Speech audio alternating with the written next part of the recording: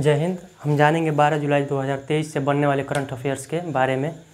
तो इसलिए पहला क्वेश्चन देखते हैं। पहला क्वेश्चन है, भारत और किस देश ने रुपए में द्विपक्षीय व्यापार शुरू किया है?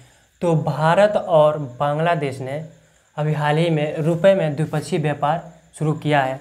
रुपए का मतलब ये हुआ कि रुपए में व्यापार करने का मतलब ये हुआ कि भारत और बांग्लादेश से जो भी अब तक व्यापार होते थे, वो अमेरिकी डॉलर में हुआ करते थे। लेकिन अब भारत और बांग्लादेश जो व्यापार करेगा, आपसी व्यापार, वो रुपए में करेगा, रुपए में लेन देन करेगा। जो भी लेन देन होगा, वो रुपए में होगा। तो ये भारत और बांग्लादेश के बीच में होगा। तो बांग्लादेश के बीच होगा तो बांग्लादेश की राजधानी क्या है? बांग्लादेश की राजधानी है ढाका। बांग्लादेश की राजधानी क्या है? ढाका। बांग्लादेश की राजधानी ढाका। और बांग्लादेश का मुद्रा क्या है? बांग्लादेश की मुद्रा है टका। बांग्लादेश की मुद्रा क्या है? टका। और बांग्लादेश के राष्ट्रपति कौन है? बांग्लादेश के राष्ट्रपति हैं मोहम्मद शहाबुद्दीन। बांग्लादेश के राष्ट्रपति कौन है? मोहम्मद शहाबुद्दीन। अगला क्वेश्चन देखते हैं। केस कला बोर्ड ने, केस कला बोर्ड के गठन की मंजूरी किस राज्य ने दी है? तो केस कला बोर्ड के गठन की मंजूरी अभी दिल्ली राज्य ने दी है। क्योंकि बाल काटना भी अपने आप में एक कला होता है। आजकल तो हेयर स्टाइल अलग अलग तरह के चल रहे हैं। कोई इधर से गायब करवा रहा है तो कोई इधर से गायब करवा रहा है। यही सब हेयर स्टाइल चल रहा है। तो ये केस काटना भी, बाल काटना भी एक कला ही है। तो इसलिए दिल्ली सरकार ने इसे एक कला के रूप में माना है और इसे एक कला बोर्ड के रूप में गठित किया है। तो दिल्ली सरकार ने किया है तो दिल्ली के सीएम कौन है?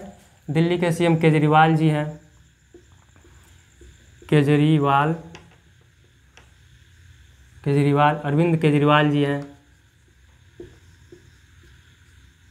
अरविंद केजरीवाल जी हैं। और दिल्ली के उपराज्यपाल कौन है? तो दिल्ली के उपराज्यपाल हैं विनय कुमार सक्सेना। कौन है दिल्ली के उपराज्यपाल? विनय कुमार सक्सेना। अगला क्वेश्चन देखते हैं। भारत चौंतीसवें अंतर्राष्ट्रीय जीव विज्ञान ओलंपियाड में चार स्वर्ण पदक जीतकर कौन से स्थान पर रहा है? तो भारत चौंतीसवा जीव विज्ञान ओलंपियाड में चार स्वर्ण पदक जीतकर पहले स्थान पर रहा है। पहली बार भारत इसमें पार्टिसिपेट किया था और पहली बार ही ये पहले स्थान पे रहा है इस साल। ये राष्ट्रीय, अंतर्राष्ट्रीय जीव जीव विज्ञान ओलंपियाड कहाँ हुआ है?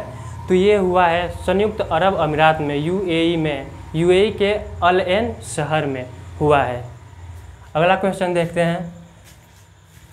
कहाँ पर अब शादी, ब्याह जैसे सामाजिक कार्यक्रमों को भी पार्क में करने की मंजूरी दी गई है? तो ये दिल्ली में दी गई है, दिल्ली में, क्योंकि दिल्ली की जो जनसंख्या है वो बढ़ती ही जा रही है। तो इसलिए हमेशा लॉज बुक करना या फिर मैरिज हॉल बुक करना इस तरह का थोड़ा मुश्किल हो रहा है, क्योंकि इतनी जनसंख्या है कि एक ही समय पर बहुत लोगों का मैरिज हॉल में ज़रूरत पड़ सकता है। तो वो ये सब देखते हुए दिल्ली सरकार ने अब ये फैसला लिया है कि ये जो सामाजिक कार्यक्रम होंगे, वो पार्क में भी किए जा सकते हैं। अगला क्वेश्चन देखते हैं। किस राज्य ने अन्न भाग्य योजना की शुरुआत की है? ये जो अन्न भाग्य योजना है, वो कर्नाटक ने शुरू किया है। किसने शुरू किया है? कर्नाटक राज्य ने। इसमें होगा क्या कि जो पाँच किलो एक्स्ट्रा चावल जो मिलता था, उसके जगह पर अब नकदी रुपया मिलेगा। पाँच किलो चावल ना देकर अलग से पाँच किलो चावल के जगह नकदी रुपया दे दिया जाएगा। और ये कर्नाटक में हुआ है तो कर्नाटक के राज, कर्नाटक के राज्यपाल कौन है? थावरचंद गहलोत। कर्नाटक के राज्यपाल कौन है? थावरचंद गहलोत। थावर, थावरचंद गहलोत। और कर्नाटक के सीएम कौन है?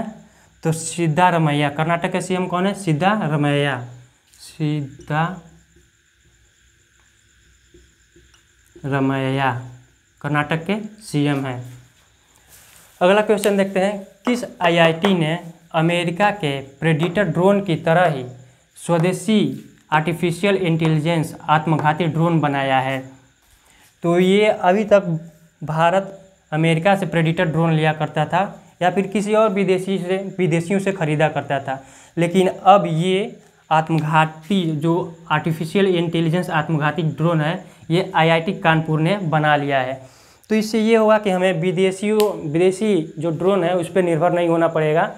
और अपने देश में ही कानपुर में स्वदेशी आर्टिफिशियल इंटेलिजेंस वाला ड्रोन बनाए जा सकते हैं, जिससे सेना को बहुत मदद मिलेगी। अगला क्वेश्चन देखते हैं। किसने world shooting para sport world cup में टोक्यो ओलंपिक का भी रिकॉर्ड तोड़ा है?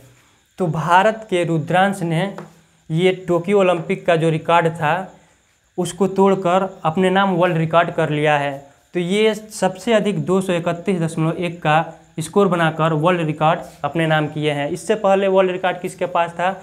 कि टोक्यो ओलंपिक में भारत के ही मनीष नरवाल के पास ये रिकॉर्ड था। मनीष नरवाल के रिकॉर्ड को तोड़कर रुद्रांश ने अपने नाम वर्ल्ड रिकॉर्ड कर लिया है। किसमें? वर्ल्ड शूटिंग पैरा स्पोर्ट में। अगला क्वेश्चन देखते हैं। कनाडा ओपन बैडमिंटन चैंपियनशिप किसने जीता है? तो ये जो कनाडा ओपन बैडमिंटन चैंपियनशिप है, उसको लक्ष्य सेन ने जीत लिया है। अपने देश के ही, भारत के ही लक्ष्य सेन ने ये कनाडा ओपन बैडमिंटन चैंपियनशिप को जीता है। अब लक्ष्य सेन ने जीता है। तो ये किसको हरा के जीते हैं? तो चीन के ली सीफेंग को हराकर कर सेन ने ये open badminton, Canada open badminton championship को जीत लिया है। अगला क्वेश्चन देखते हैं। यूथ वर्ल्ड चैंपियनशिप तीरंदाजी में किसने गोल्ड मेडल जीता है? तो ये जो यूथ वर्ल्ड चैंपियनशिप तीरंदाजी है, उसमें पार्थ सालुंखे ने, उसमें पार्थ सालुंखे ने गोल्ड मेडल जीता है। ये पार्थ सालुंखे अपने ही देश के हैं, भारत के ही हैं। तो ये गोल्ड मेडल जीते हैं तो किसको हरा कर जीते हैं? पार्थ सालुंखे जी, ये कोरिया के तिरंदाज तिरंदाज को हरा कर गोल्ड मेडल अपने नाम किया है। तो ये आज के कुछ करंट अफेयर्स के क्वेश्चन थे, जिसको आप याद रखेंगे तो एग्ज़ाम में बहुत काम आएँगे। अब ऐसे ही क्वेश्चन अगले दिन मिलेगा करंट अफेयर्स का। तब तक के लिए जय हिंद।